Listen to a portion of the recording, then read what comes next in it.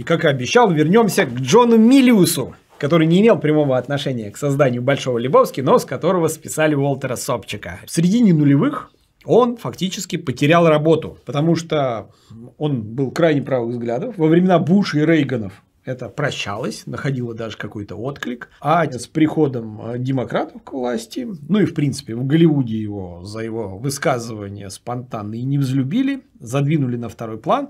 И в середине нулевых, ну, судя по интервью, ему не хватало там денег, например, на обучение детей. Хотя он был далеко не последний режиссер, там поставивший Конана Варвара, кучу сценариев написавший. Вот он активно искал работу, друзья ему там время от времени какие-то эти заработки подкидывали ли деньги, но время было непростым.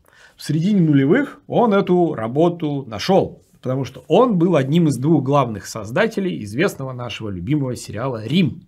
И, собственно, из двух сезонов полтора сезона оттарабанил сценаристом и зачастую режиссером он. Возникает вопрос, почему при этом он отработал полтора сезона?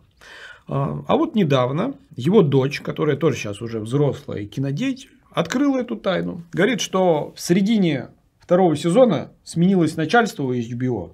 Над папой поставили начальницу-либералку, которая его возненавидела.